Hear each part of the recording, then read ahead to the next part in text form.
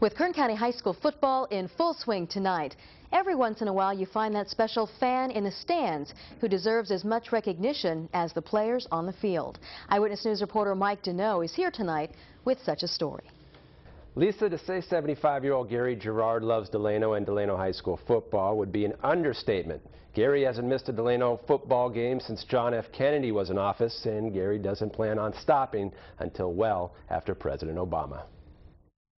It's just enjoyable to watch people that you know and have a connection with. 75-year-old Gary Gerard was born and raised in Delano. Gary began teaching at Delano High School in 1962, coincidentally the same year the streak began. I thought about it in about the time I retired in 2001. Gary has not missed a Delano High School football game, home or away, in 40 years a consecutive Tiger football streak of 518 games. I see people who are kids of grandparents that I had in school. Gary Gerard has committed his life to the city of Delano and its youth.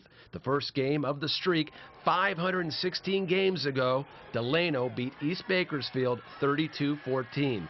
Gary admits he came close to missing one game several years ago. I actually didn't know about it until about six years ago when he was going to miss um, a football game to um, go with me to have a surgery down at Cedar Sinai. And when I found out about the streak, I told him, don't be there.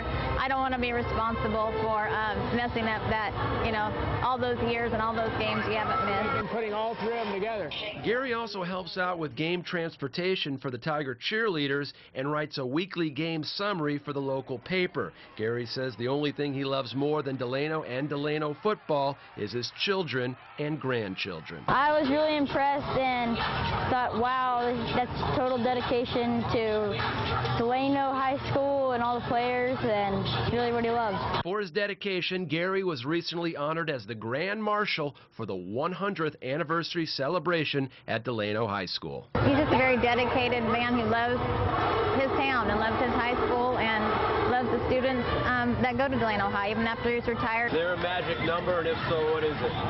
Oh, as long as I'm able to walk.